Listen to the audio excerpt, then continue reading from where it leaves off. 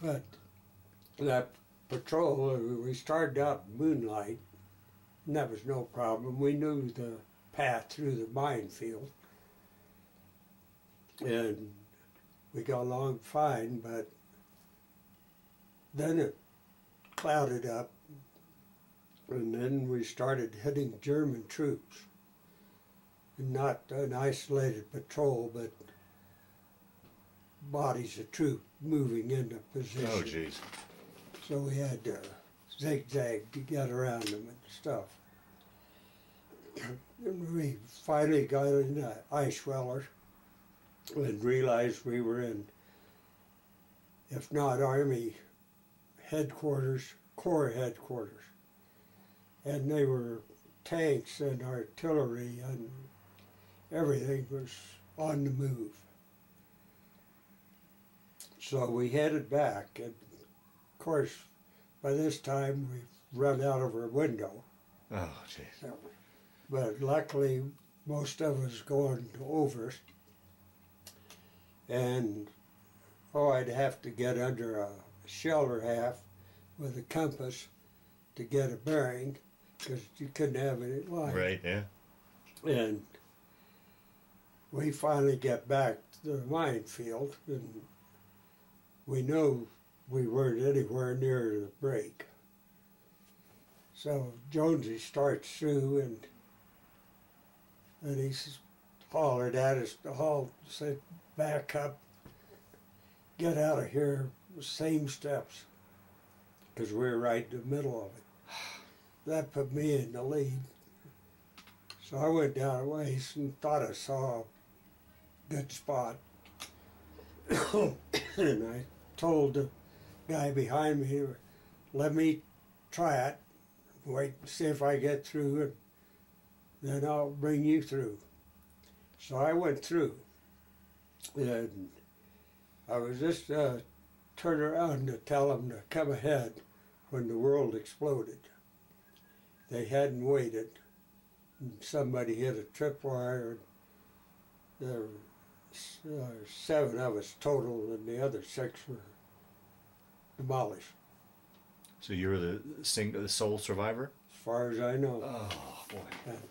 And I didn't think I was hit. But anyway, that brought out uh, troops that were stationed. It happened to be C Company out of our regiment. And thanks to that track again, they were, you know, they came out password and I gave them the password and they said, oh, that's yesterday's, anybody can have that.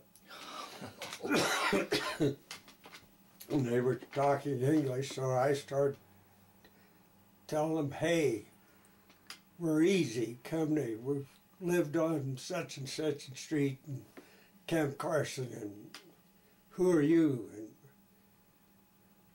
finally somebody said, and I said something about, we used to beat the heck out of you in track. One of the guys said, is that Hamman? And so then they got me to the regimental commander so I could give the report about what we'd found. And I remember telling him about all the troops and we thought they were going to jump off. And then the next thing I knew, I woke up in a hospital in Belgium wow. and I had shrapnel all up and down the back of my uh, right leg. And I turned my head, and I had little shreds in my, a pretty good piece in my nose. Uh, metal worked out of me for two years after I, but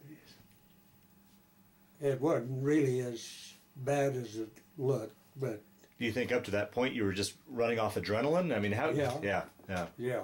Huh.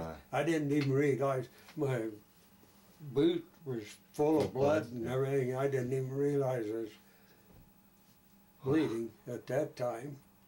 So they were worried about that piece of metal in my nose and they have to wait for a specialist.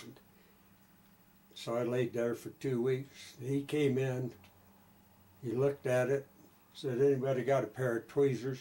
Reached up my nose, pulled it out, said, next time you blew your nose, it would have come out. he said, you're back on duty. really? Yeah. Well, the, they wouldn't take out those little pieces. They do more damage. so they, when it's returned, when I got back to the company, I knew about six guys, the captain and the five cooks. Because in the, that battle that we said the Germans were jumping off, we jumped off the same time that same morning.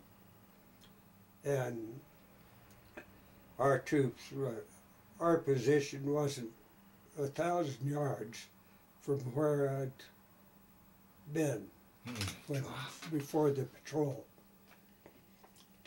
But anyway, uh, the captain said, "Well, you're second squad leader now. You're sergeant, staff sergeant."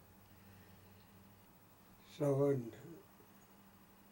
four or five months, I'd gone to private uh, staff sergeant. But I said, "Well, where is the second squad?" And he said, "You're it.